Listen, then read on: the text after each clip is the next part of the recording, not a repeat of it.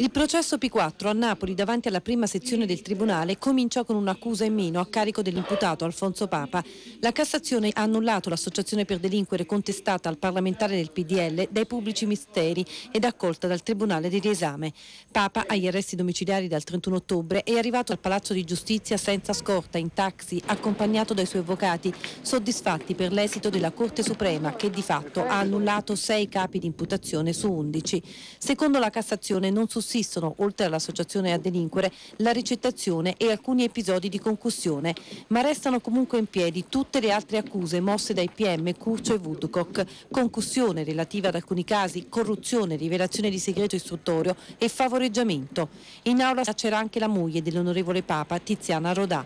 L'udienza è iniziata con alcune questioni preliminari di costituzionalità e di competenza territoriale e funzionale poste dalla difesa, rappresentata dagli avvocati Dalise e Di Casola hanno replicato i PM Curcio e Woodcock.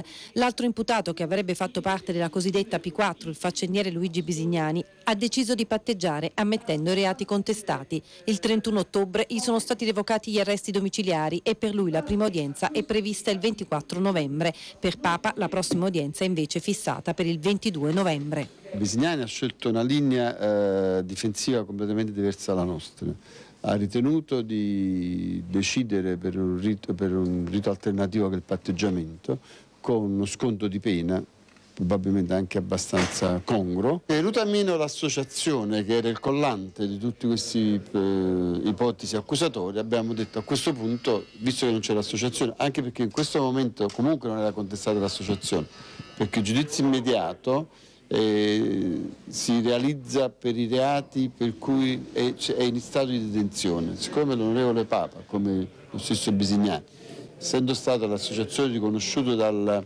Tribunale d'esame, non era esecutiva e quindi in questo caso abbiamo chiesto di smembrarlo e di farci le nostre varie ipotesi di reati nelle, dal giudice naturale che, che dipende territorialmente.